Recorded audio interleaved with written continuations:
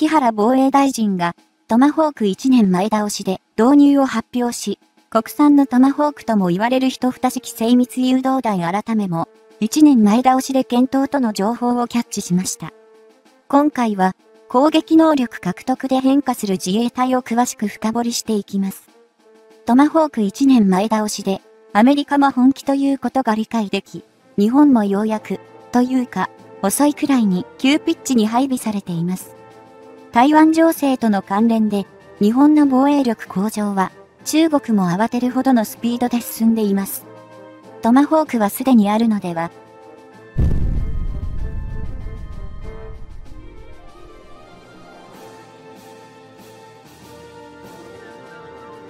2023年10月10日、現在の日本の岸田政権の閣僚である木原防衛大臣は記者会見に臨み、これまで2026年度を目途に実戦配備を行うことを予定していた国産のスタンドオフミサイルについて導入時期を早めることを示唆した。スタンドオフミサイルとは、敵の防空網の圏外から発射することが可能な長距離ミサイルのことを指しており、主として近年の対空ミサイルの急激な射程距離の延伸に対抗すべく、導入の早期化が求められている。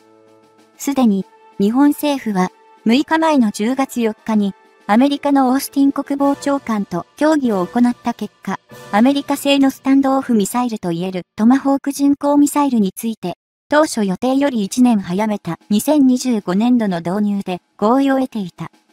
日本はおよそ400発ほどのトマホーク巡航ミサイルをアメリカから調達する計画を進めているが、同ミサイルは、およそ 1600km ほどの射程距離を持ち、主として、海上自衛隊の水上戦闘艦へ搭載して運用されるものだ。日本が調達を行うトマホーク巡航ミサイルは、艦対艦、艦対地の両用途に、使用可能な仕様となっており、飛翔速度こそは音速という点は課題ではあるものの、従来の対艦用のハープーン巡航ミサイル等よりは格段に長射程である。このトマホーク巡航ミサイルのアオン速という飛翔速度をもって、現在の対空ミサイルの性能に照らしてみれば、迎撃が比較的容易であり、有効なスタンドオフミサイルとしては機能しないのではないという批判も高めにする。そうした意見も一理あることは、完全には否定はできないが、こうしたおよそ 1600km ほどの長射程を誇る巡航ミサイルを保有することで、少なくとも敵側はそれらを迎撃するための監視体制や機材を稼働させる必要に迫られる。そのような動きを敵側に強いることには大きな意味があり、警戒を怠れば、自軍の艦艇や地上の設備に損害が生じる可能性があると思わせることで、実際の攻撃に至らずとも抑止するための体制を取らせる効果が期待される。ただし、欲を言えば不幸にして、実際の戦闘に突入してしまった場合には、敵の防空網を突破するだけの飽和攻撃が行える数量のミサイルを投射できれば、なお良いわけだが、日本が調達を決めているトマホーク巡航ミサイルの400発では心もとない。その意味でも、スタンドオフミサイルの数量自体をある程度揃えるためには、やはり国産化を推進しておく必要があり、今回、木原防衛大臣が記者会見で示唆した国産のスタンドオフミサイルの配備の前倒しは、現状では必須と思われる。このところ、主として南部戦線での膠着状態が懸念されているロシア・ウクライナ戦争においても、これまでにウクライナ側に西側諸国から供与された中で、最も長射程な兵器はイギリスからのストームシャドウで、かなり効果的な戦果を上げているように見える。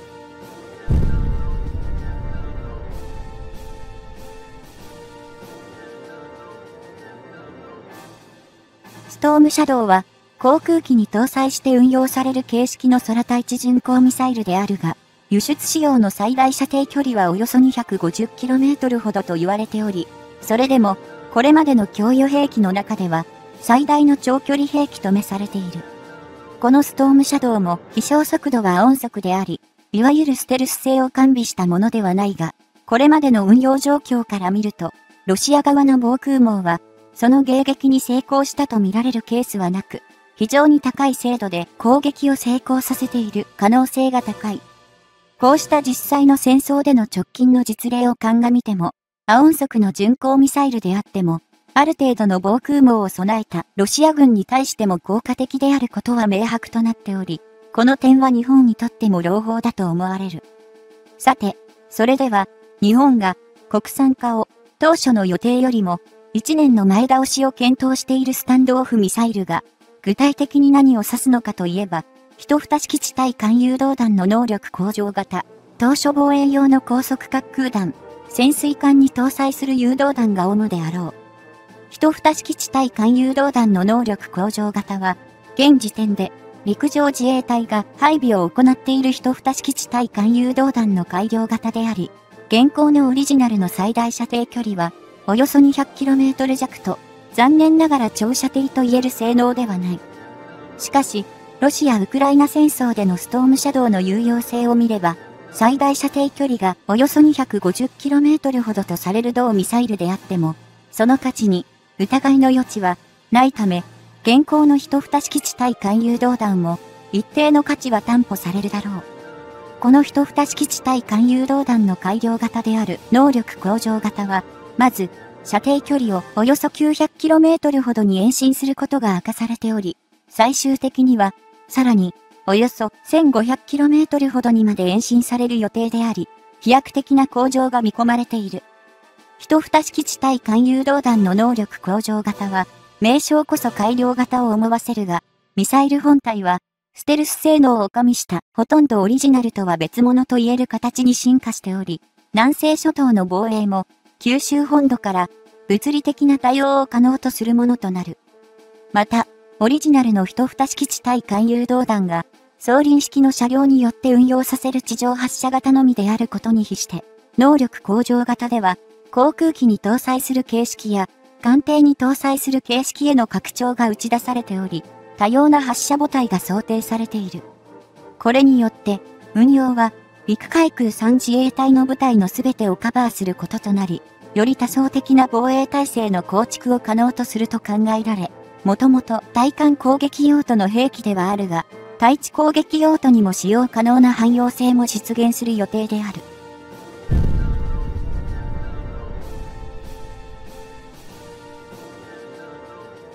次に、当初防衛用の高速滑空弾だが、こちらは、飛翔速度が音速を超過するとめされており、現時点では、まず、射程距離 500km ほどのものとなると想定されており、南西諸島の防衛に向けた地対地兵装の用と位置づけられている。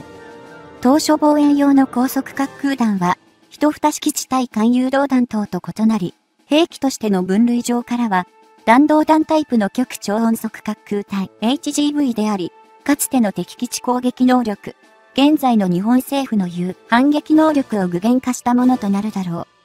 この当初防衛用の高速滑空弾も、2030年代以後を目標に、最大射程処理をおよそ 3000km ほどにまで延伸する計画が打ち出されており、対地攻撃用途に加えて、こちらにも対艦攻撃用途も可能とする改良型も視野に入れているとされる。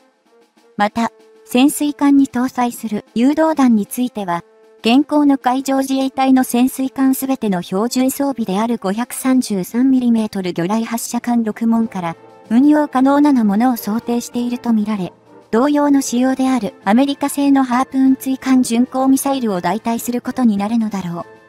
この潜水艦に搭載する誘導弾も一蓋式地対艦誘導弾の能力向上型とミサイル本体を共用化できればベストだと思われるが、前述したようにステルス性能を加味し大型化させているため、533mm 魚雷発射管からのそのままの形での運用は困難とめされる。そのため、533mm 魚雷発射管での運用に対応した別バージョンが専用に開発される運びとなることが想定され、最新型のハープーン巡航ミサイルのブロック2と同様に、やはり、対艦、対地攻撃の両用途に対応した形となるのだろう。海上自衛隊では、VLS 垂直発射管を搭載する実験艦の建造を行うこともすでに決定されているが、現状22隻体制を確立した潜水艦隊の主兵装である 533mm 魚雷発射管を有効活用する意味でも、新型誘導弾の実用化が並行して行われると考えられる。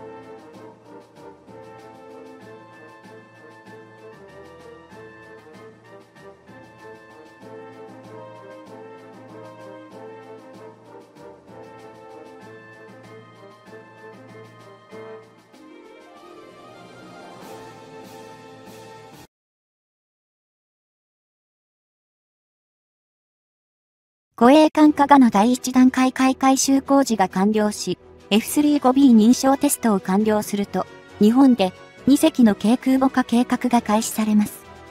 F35B 戦闘機も2024年度には日本に配備される予定。今回は、なぜ、軽空母化計画が必要だったのかを詳しく深掘りしていきます。F35B 戦闘機の航続距離は、短く1600キロほど台湾有事に向けた応急処置になるでしょう。アメリカとのクロスデッキ運用で、両国の軽空母を使用できますし、日本にはあと、日向、伊勢、大隅、下北、国崎が他に存在します。ドローン空母化へ。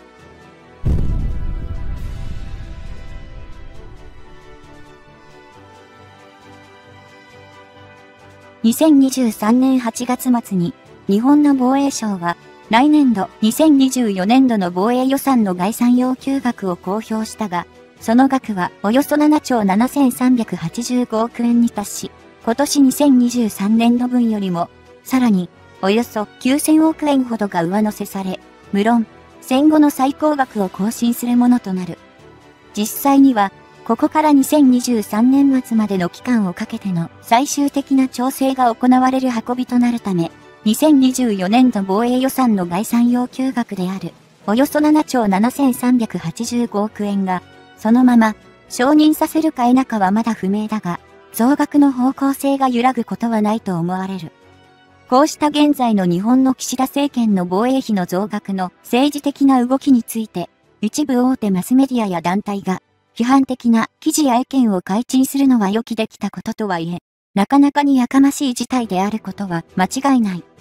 ことに、日本の防衛予算の増額が進められる大きな要因の一つとなったものに、2022年2月より正規したロシアによるウクライナ侵攻があることは、議論の余地を待たないと思うが、冷静に見ても日本の置かれた安全保障環境の悪化は疑いようもないだろう。ウクライナ戦争をあくまで継続しているロシアに加え、北朝鮮は新型ミサイルの開発と死者の頻度を著しく増加させており、また、中国も言うまでもなく、経済力を背景とした軍事力と、それによる支配地域の拡大に余念がない。辛くも、幸いなことに、日本は、これらの国々と海を隔てているとは、家対峙する関係にあり、その危機的な状況は、かつての冷戦時代の旧ソ連のみの戦力を警戒すれば事足りた時期よりも、はるかに複雑で多面的な脅威に直面している。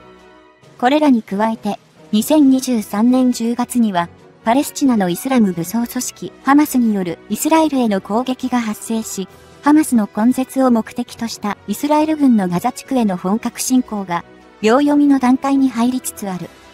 日本は、中東から原油の9割以上を輸入していることもあり、中東地域の不安定化は、ロシア・ウクライナ戦争以上に、経済的な影響が懸念させているため、昨今は、その動向と現状を伝えることに、多くの報道機関が不信しているように見える。こうした政界情勢の変化は、確かに問題ではあるだろうが、個人的には、日本が、イスラエルとパレスチナの問題に、関与可能な力を有していないことは明白であり、ロシア・ウクライナ戦争以上に成り行きを注視することしかできないだろう。それらに比すれば、はるかに対中国を意識した通常戦力の増強の方が、本来的には重大な問題だと思われ、増額される防衛予算の使途についても、スタンドオフ能力としてのミサイルの整備が優先課題であることは議論を待たない。また、これらのスタンドオフミサイルの配備の前に若干霞んでしまっている感もあるが、海上自衛隊が現在保有する中で、最大の規模を誇る出雲、片護衛艦の航空母艦化改修の進捗も、決して忘れてはならない取り組みだろう。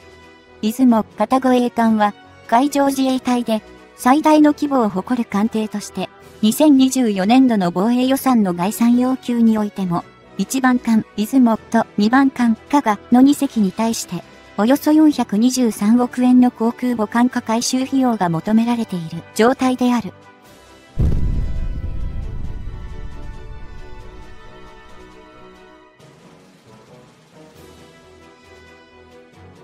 これらの総額423億円に上る航空母艦改修費用の内訳としては、2024年度防衛予算では、出雲におよそ420億円、加賀におよそ3億円と偏りのある配分となっており、これは前者が大掛かりな回収を残しているためである。出雲は2024年度の防衛予算で、監視部分を台形から四角形へと飛行甲板の面積を拡幅する工事が予定されているが、加賀の方は今年2023年までにすでにこの大掛かりな改修工事を終えている点が異なっている。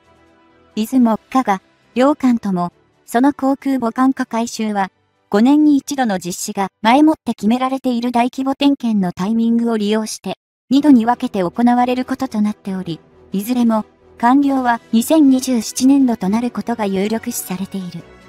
これら出雲、片護衛艦の2隻は、航空母艦改修の物理的な工事と並行して、艦載機とする F35 ライトニング 2B 型を運用するための認証を、本国であるアメリカに出向いて取得する必要があり、まだ、その道のりは半ばと言ってよいだろう。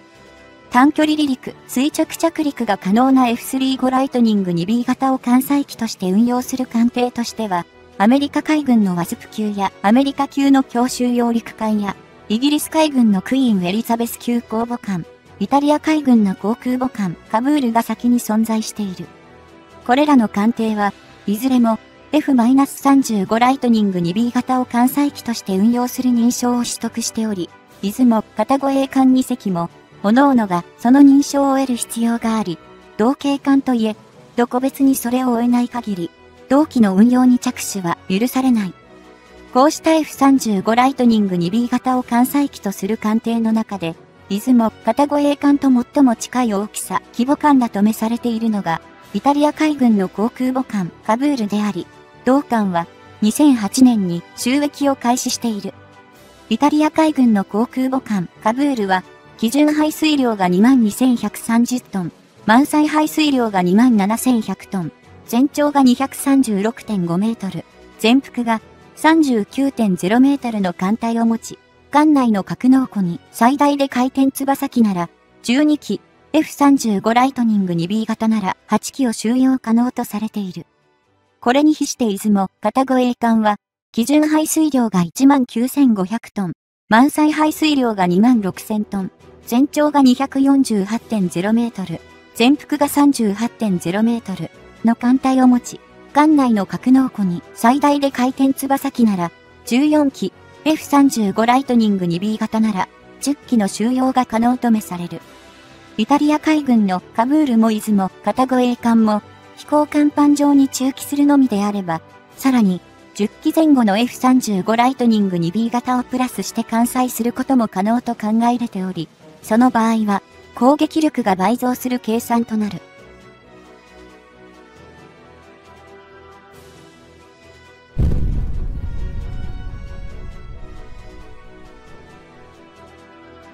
しかし、艦内に収容して、十分な整備体制や機体の管理を行うことを想定すれば、出雲、片護衛艦は航空母艦化すると言っても、F-35 ライトニング 2B 型の10機という戦力は、決して大きなものとは言えず、過剰な評価は禁物だろう。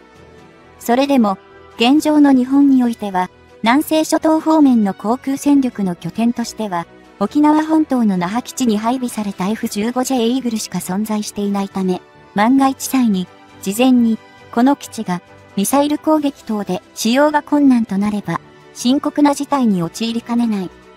那覇基地における F15J イーグルの中期状況に関しても、敵の対地攻撃ミサイルから、同機を完全に保護できる円、体等の設備が整っているとも言い切れず、仮に整備が進んでも進化を続ける対地攻撃用ミサイルの威力は過小評価できない。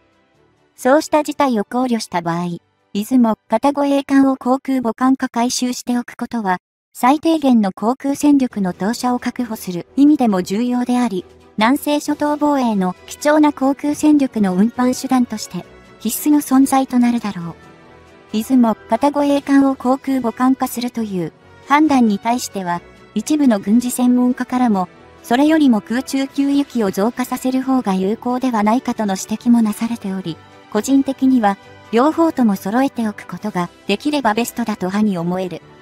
ただし、今後は、有人航空機の運用を強化する手段を多様化することと並行して、攻撃用途に使用可能な無人航空機の活用も進める必要があると思え、どこに優先的に限りのある資金を投下するのかが問われる事態が想定される。今のロシア・ウクライナ戦争における戦訓としては、限定的なステルス性能しか有していない、いわゆる第4世代戦闘機では、ロシア・ウクライナ両軍とも、ある程度の防空ミサイル網を保有した状況では、積極的な攻勢に出られないことを示している。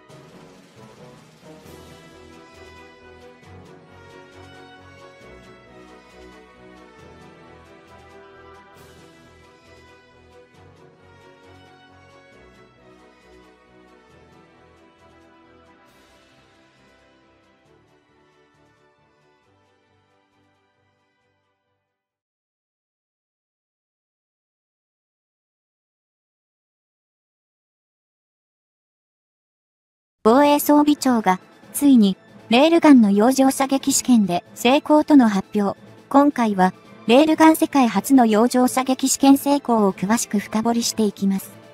あの、アメリカでさえ断念しているレールガン開発日本が世界をリードする時が来ましたね。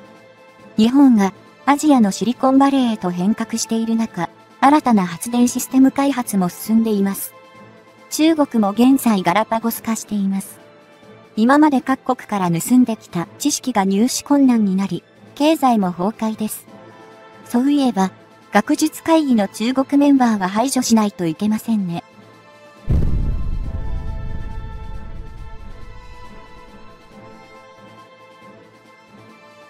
2023年10月17日に日本の防衛装備庁は開発中のレールガンを実際の海上自衛隊の艦艇に搭載した形での洋上における発射テストを行ったことを公表。レールガンとしては、世界に先駆けた取り組みとなった。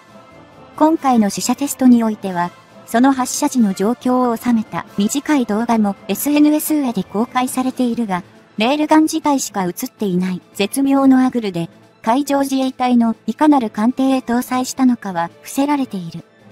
公開された動画は、洋上で発射されるレールガンの発射時の重後部付近のみを左右、斜め右下、上の4つ視点から捉えたもので、艦艇の種別がわかるような映像は一切映り込んでおらず、特定は困難だろ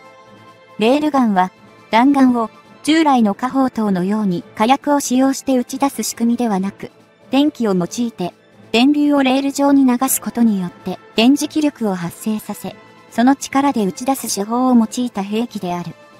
従来の火砲と異なり、火薬等の爆発力を利用して弾丸を打ち出すものではないため、今回 SNS 上に公表された動画においても、重工部が発射の反応で動くような様子もなく、極めて静かに動作しているように見える。レールガンは、これまでに、日本以外でも、アメリカ、ロシア、中国、トルコなどが開発を推進しているとされてきたが、最も先行していたとおぼしきアメリカは、2021年に開発の中止を公表するなど、取り組みにばらつきは生じている。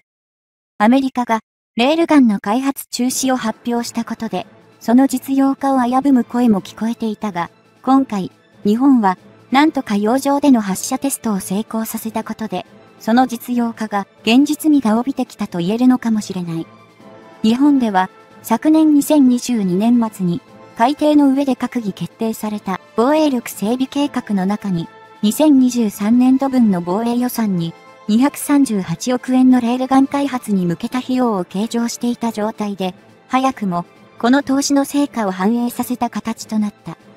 日本におけるレールガン開発の道筋は、まず、小口径のレールガンで実用化を実現した後、次に中高系のレールガンの開発を推進する2段構えで進められる予定とみられ、今回は第1段階の小口径であったと考えられる。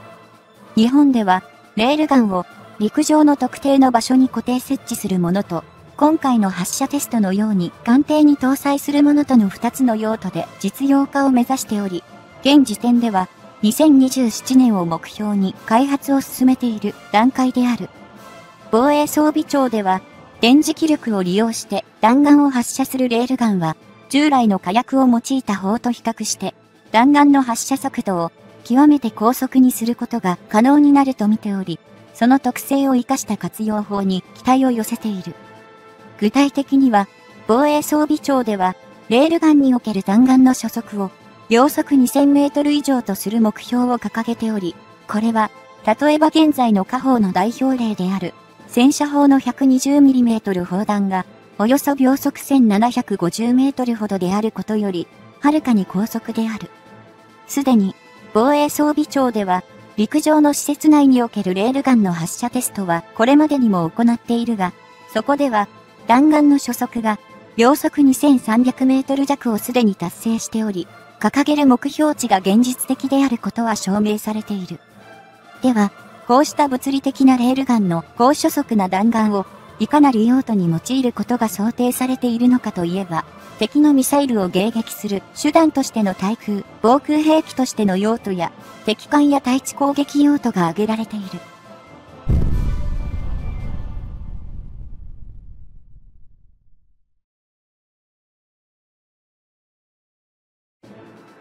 個人的には、いかに、レールガンの弾丸が高初速とはいえ、飛来する敵のミサイルを迎撃するためには、弾丸自体は未誘導であると思われるため、敵ミサイルの軌道を、いかに正確に把握して発射するのかが問われるのではないかと感じる。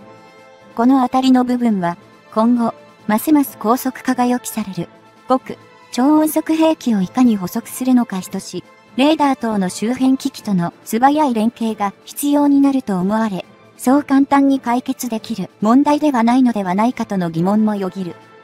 逆に、敵艦攻撃や対地攻撃用途を想定した場合、その弾丸の高初速を活かした小口径ながら、比較的威力の大きな攻撃手段の一つとして利用できる可能性は高いのではないかと思え、そちらの実用化の方が早いようにも感じられる。いずれにせよレールガンでは先行していたと思われるアメリカが、イギリスの BAE システムス社等と進めていた、その開発を諦めた大きな理由は、運用に必要な大電力の供給と、射程の短さがネックとされたと記憶している。これらの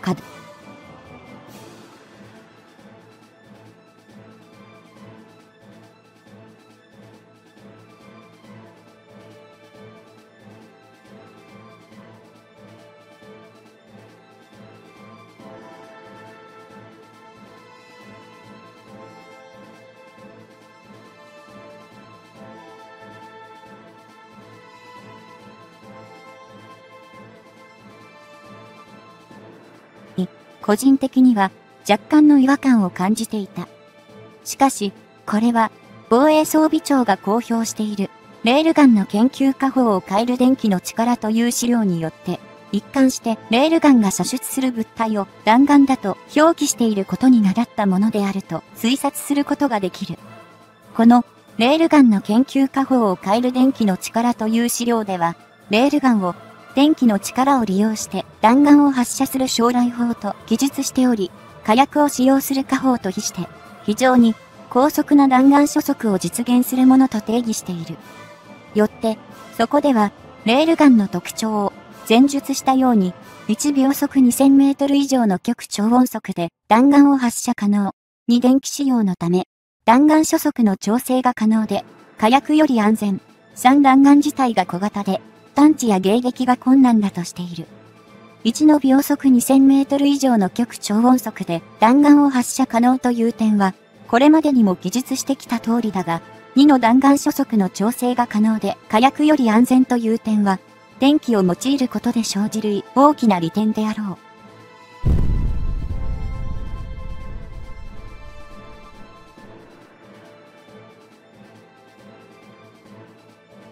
火薬を砲弾の推進力として使用する従来の火砲は、例えば、戦車砲の場合、44口径 120mm 滑降砲よ、ルル、55口径 120mm 滑降砲が長射程であるというように、重心長が物理的に長い方が砲弾をより加速させ、長射程、高威力を実現させる。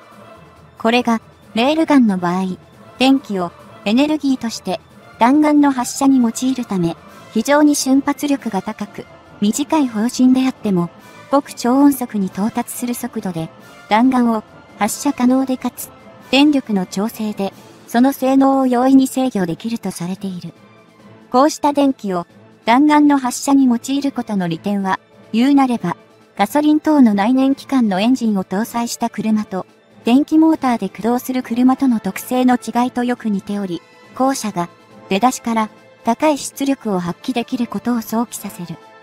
また、通電させる電気の量を調整することで、弾丸の初速を制御できるということは、状況に応じて電力消費量を抑えられることを意味し、ある意味汎用性の高い運用が実現できる可能性を示唆するものとも言えるだろう。日本の試作段階でのレールガンは、合計 40mm、全長約 6m、重量約6トンの砲自体から、全長約 160mm、重量約 320g の弾丸を、総エネルギー 5MJ で 8.5kV の電圧を用いて発射する仕様となっている。40mm という口径は、現状における海上自衛隊の護衛艦が搭載している火砲が、主として 76mm や 155mm であることに比すれば、まさに、艦砲というより機関砲に近い小口径であり、効率的に運動エネルギーを活用するものだと感じられる。この 40mm 口径が小型のレールガンであると考えると、今後の中口径というものが、どの程度の大きさを想定しているのかが気になるところではあるが、現時点ではそれについて判断できるような情報はまだ見当たらない。